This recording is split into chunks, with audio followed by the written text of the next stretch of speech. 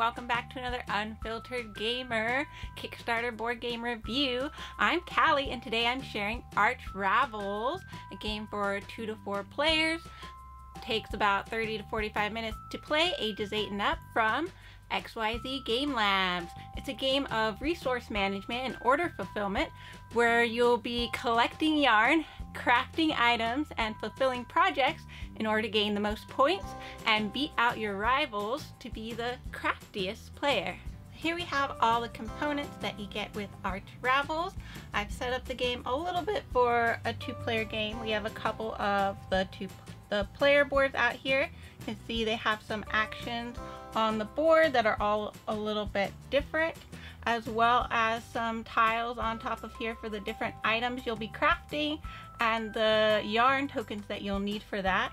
Got these cool wooden bowls and some yarn tokens to start for each player. Up here we have the Yarn Bazaar which is a nice deck of a lot of cards with different colors and different combination and numbers of yarn that you'll be collecting as you go shopping.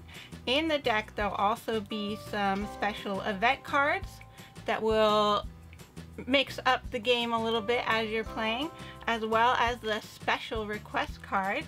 You can see some of them here like the unicorn, the robot, um, lots of different special requests that you will have to be picking up as you go through the game as well of course the different yarn tokens of different colors and the tokens here of the different items you'll be crafting and then last but not least there's the projects list which this is also acts as a timer for the game you can turn in your item tokens to complete projects to get even more points in the game so on your turn you can take your action token and place it on one of the four actions here. You can either shop for yarn, you can craft, you can do a combination of craft shopping and crafting, or you can exchange yarn. So if I choose to go shopping, see I have a number three there, which is going to be different on the different player. Some of them will be different on the different player boards. And I'll be able to choose three cards up here, looking at what I might need. I'm going to pick two yellow, two blue, and then this one looks good because it's got a lot of uh, three different colors here.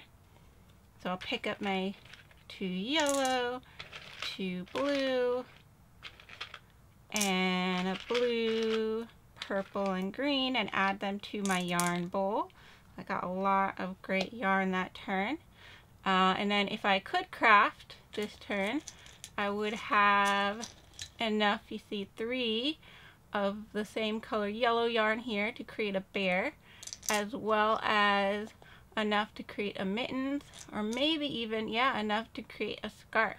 So next turn I'll be able to move my token and take a different action, uh, crafting as many items as I can based on the number there.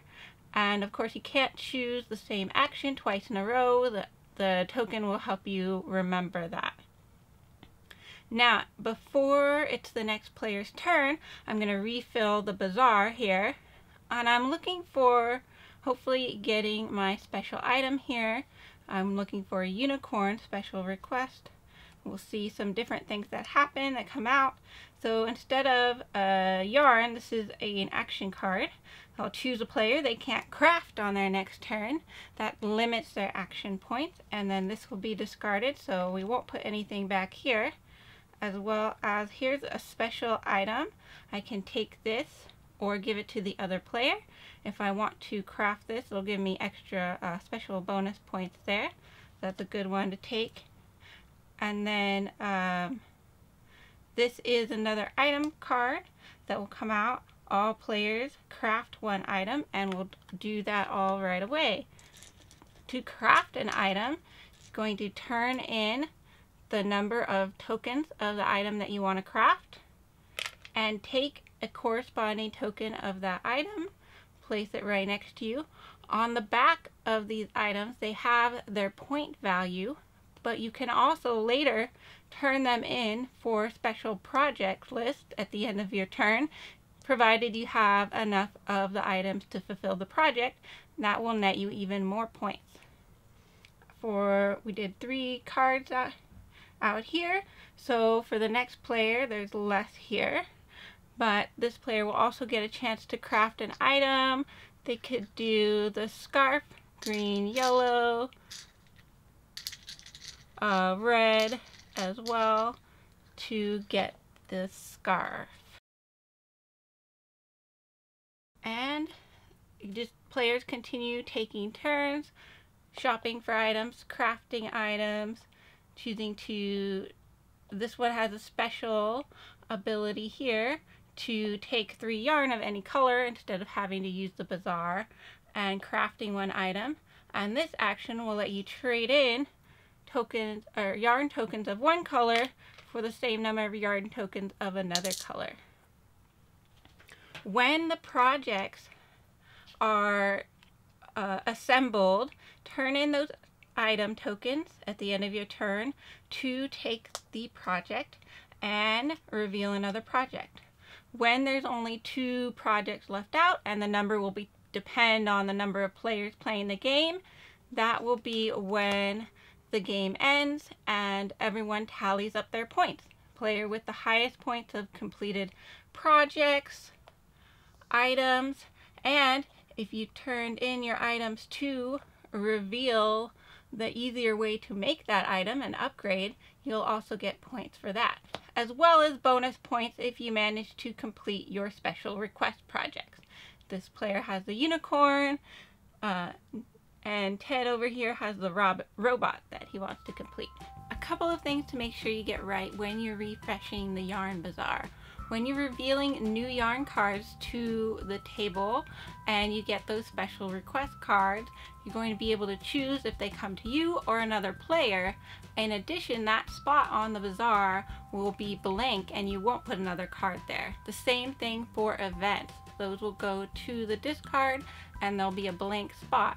On the next player's turn, they can use that spot to choose one yarn of any color if the rest of the cards on there they don't like and they have a shopping action. On their turn as well, they'll be continue refilling up to six spaces unless of course they get another event card or, or a special request. Okay, on to my review. What did I think of Arch Ravels? Overall, it's a really colorful fun puzzle game that is pretty engaging and has a really unique theme.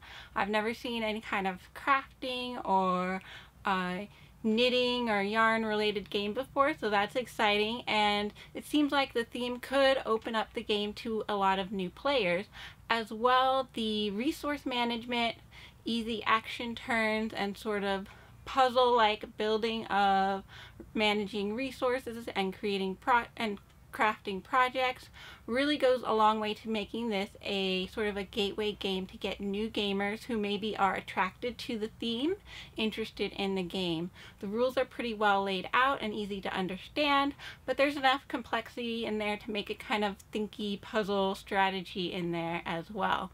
There's not a whole lot of player interaction except for when you're choosing the yarn from the Yarn Bazaar. If you know someone is going after a particular color for a particular project, and of course competing for those project lists. One thing about the project list is, is the sort of time limit to the game, so you can make the game last longer or shorter by choosing when you're going to go after those projects. In addition, because the number of them depend on the number of players, you're going to have a lot shorter game for a two-player game versus a four player game. Another thing to notice about the two player game especially is you're not going to get through as much of the yarn deck as in a four player game. So you may not get to those special request items, which was really disappointing when we played the two player version of the game, not to be able to make those special requests, which actually make the game more fun, add more variety to the items that you're crafting, and of course more points, right? but the components themselves are really great.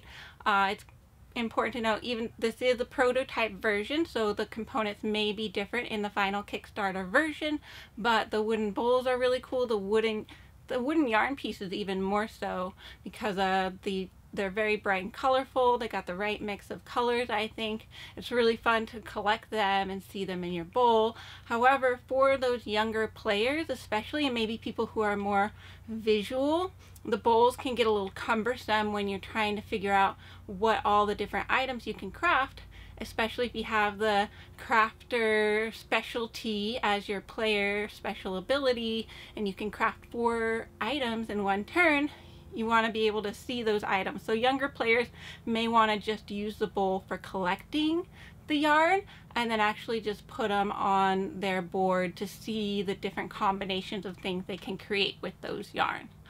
Uh, overall, the game is a lot of fun and I definitely recommend it for uh, families for people who want to and get other maybe your friend crafters into the board gaming community this will be a great way to do that and the game will be coming out on Kickstarter. Thank you guys for watching my overview and review of Arch Ravels coming to Kickstarter and I hope you check out the Kickstarter link below and see how if you like the game or not and as always, uh, like this video, subscribe to Unfiltered Gamer. You can also go to our website, unfilteredgamer.com, for lots of giveaways, blog posts, and check out our Facebook page every Wednesday night, 7.30 PST, for our live play, where we talk about games, play games, and give away games on the stream.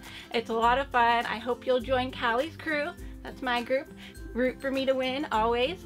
And uh, you can, of course, also check out some other awesome review and content creator channels. Love supporting other diverse perspectives in the board game community. Let's build the board game community.